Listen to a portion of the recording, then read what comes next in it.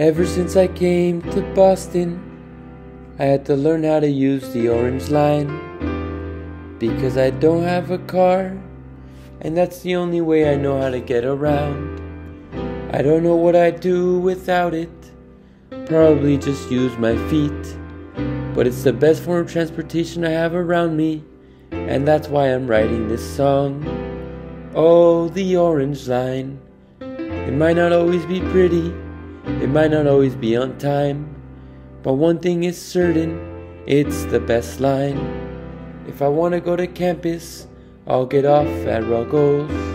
When I go to TD Garden, North Station is where I go. If I get off at Back Bay, I can walk to Newbury Street.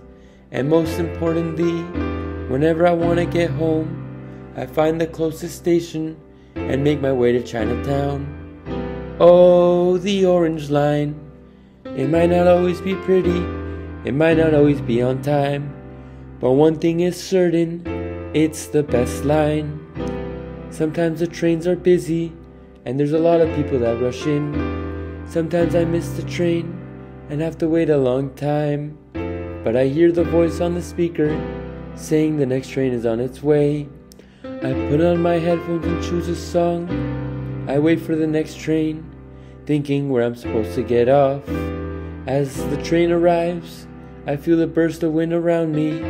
I wait for the doors to open, and I look for somewhere to sit. Now I'm on my way, counting down the stops. I look at the clock. Hopefully, I'm not late, but that's out of my control. Oh, the orange line.